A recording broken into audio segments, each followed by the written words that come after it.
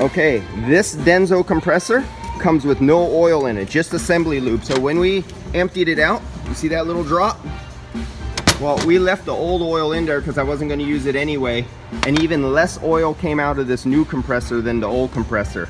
So this one, I'll have to add some too. Look at how, let's see. Uh, where's my discharge cord?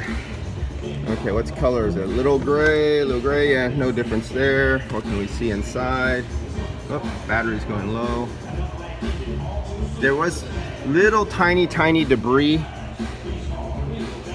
inside, uh, just two little, ever so small chunks inside there, plastic debris.